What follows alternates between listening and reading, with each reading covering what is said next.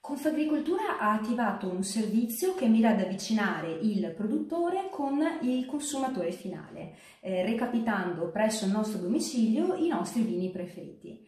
In questo caso io mi sono fatta spedire un Conegliano Valdobbiadene superiore di cartizze DOCG dall'azienda Riva dei Frati con sede a Cornuda per l'appunto in provincia di Treviso.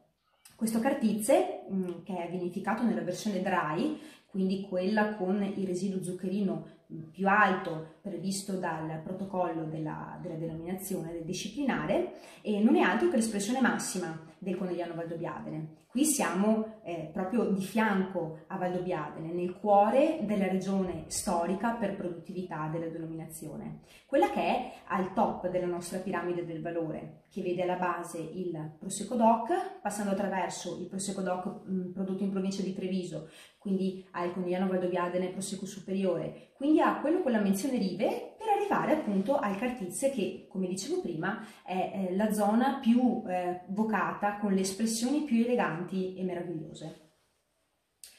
Solo ad un primo esame visivo possiamo notare che anche se io l'ho versato da un paio di minuti, basta un piccolo giro per rianimare subito queste bollicine che salgono in catenelle ordinate e sono molto piccole e numerose. Il colore è vibrante, cangiante fra l'oro e il verde.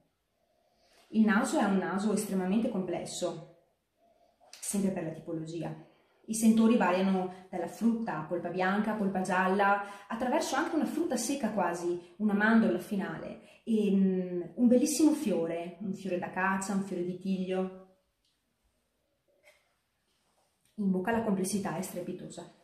Ritroviamo tutti i sentori che abbiamo, uh, che abbiamo avuto eh, il piacere di poter annusare um, con la degustazione olfattiva.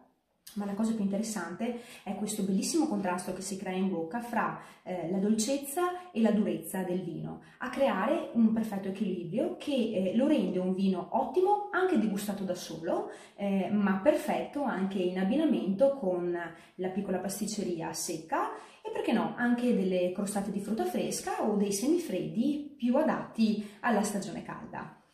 Io vi saluto, prosit da Associazione Italiana Sommelier del Veneto e Confagricoltura.